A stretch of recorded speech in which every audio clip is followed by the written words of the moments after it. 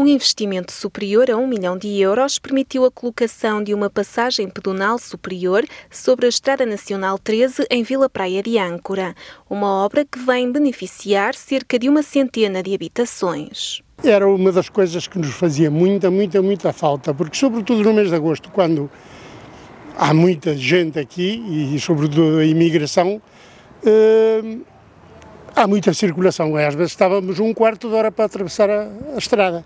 Então, que isto para nós foi a cereja no, no cima do bolo, não é? É algo que já estávamos à espera há muitos anos, muitos anos, e que se realizou agora e que estamos muito contentes, muito felizes. Não podíamos ter mais felicidade que poder atravessar sem problemas de, de ter medo de sermos atropelados.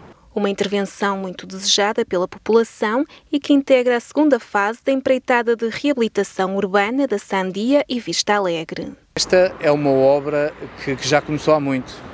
Começou com planeamento, com a delimitação da área de reabilitação urbana em 2014.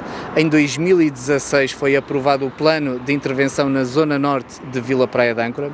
Em 2018 começou esta empreitada em toda a área da Sandia e da Vista Alegre.